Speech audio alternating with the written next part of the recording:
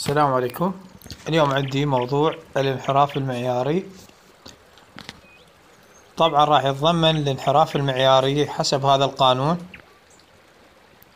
يتضمن عندي الوسط الحسابي اللي هو أطلعه بقانون والنوب أعوضه وعندي فئات وأسوي جدول.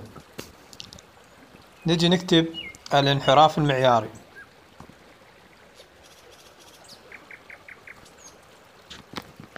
طلاب هذا الانحراف المعياري.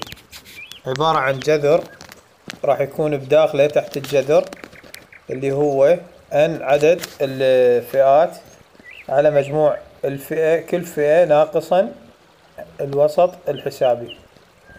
فوقها تربيع. هاي شلون نطلعهن؟ نطلعهن من الجدول. طبعا هذا القانون إذا كانت بيانات غير مبوبة راح أشتغله بهذا القانون. إذا عندي بيانات غير إذا مبوبة لا بغير قانون. فهسه هذا بالنسبة للبيانات المبوبة راح نشتغل بالجدول ونشوف. هسه هذا مثلا عدد الفئات. إيش قد عندي عدد الفئات؟ وهذا الوسط الحسابي.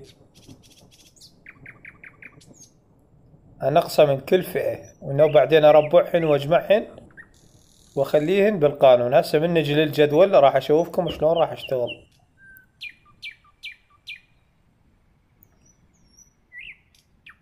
تمام.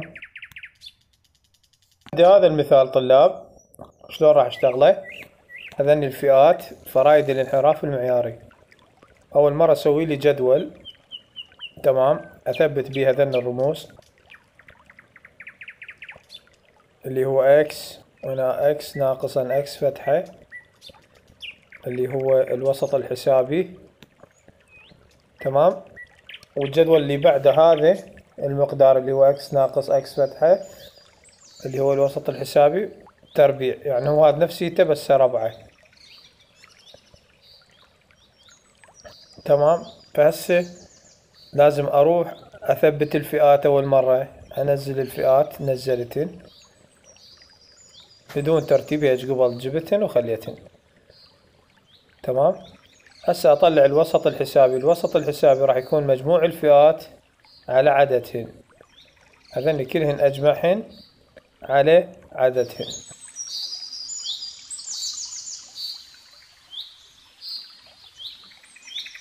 فعددهن راح يكون بهالشكل هذا. مجموعهن كلهن هذن إذا دقيت نحاسبه أو جمعتهن يطلع ميتين وستة عشر. على عددهن راح يكون ثمانية.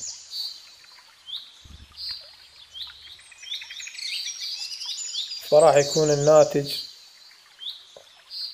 سبعة وعشرين. اختصرت سبعة وعشرين. طبعا هنا اختصارا للوقت ما خليتن بالقانون قبل طلعت لكم الناتج فراح أستفاد من هاي المعلومة اللي هي أربعة وثلاثين ناقص سبعة وعشرين. يعني ذن الأرقام كلهن راح أنقصهن من السبعة وعشرين. اللي يطلع لي أربعة. تمام؟ فهنا أربعة وثلاثين ناقص سبعة وعشرين. وراح يساوي لنا إيش قد؟ طلعت لي طلعت لي سبعة. فمن راح أربحها راح تصير تسعة وأربعين. تمام؟ هنا ربعتها عزلتها على صفحة. نفس الحالة هاي الخمسة وعشرين هم أنقصها من السبعة وعشرين. يعني كل مرة أنقص السبعة وعشرين. اللي يطلع لي أربعة. فايش طلع لي هنا اثنين سالب اثنين. فمن تربع راح تصير أربعة.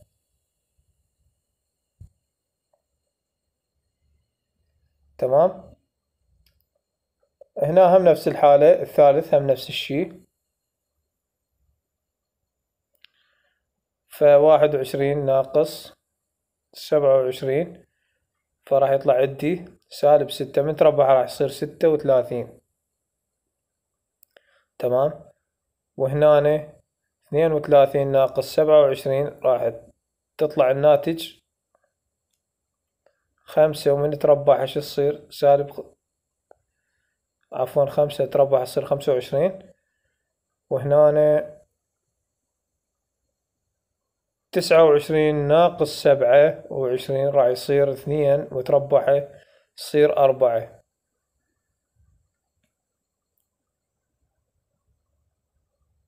تمام؟ وهنا راح يصير هم نقصه من السبعة وعشرين كالحالة هم طلع لي سالب ثلاثة هم أربعة يصير تسعة. وهنا هم نفس الشيء.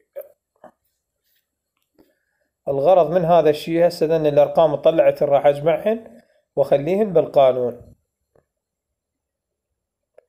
أنا اللي يهمني هذا الجدول الثالث باعوا اللي هو أبو التربيع. ذني طلعت الأرقام أجمعهن. هن راح أعوضهن بالقانون. فنجي نجمعهن كلهن نطلع مجموعهن كلهن من تسعة وأربعين أربعة وستة وثلاثين كلهن مجموعهن إيش قد؟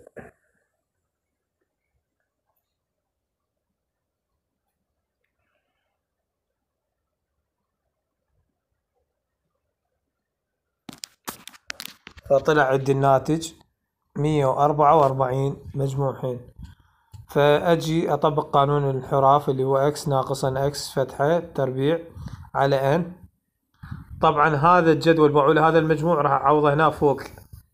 هذا كله هو X ناقص X فتحة. هذا بعد ما ربعت ذن الأرقام طلعتهن إيش قد طلعت المجموع؟ مية وأربعة وأربعين. على عددهن عددهن إيش قد؟ احسب عددين واحد اثنين ثلاثة أربعة ستة سبعة ثمانية. تمام؟ فراح يصير أكو اختصار عملية اختصار. راح يطلع عندي جذر ثمنتاش وجذر ثمنتاش جايني من اثنين في تسعة. التسعة إلها جذر تربيعي تطلع برا الجذر اللي هي ثلاثة وراح يبقى تحت الجذر اثنين. تمام؟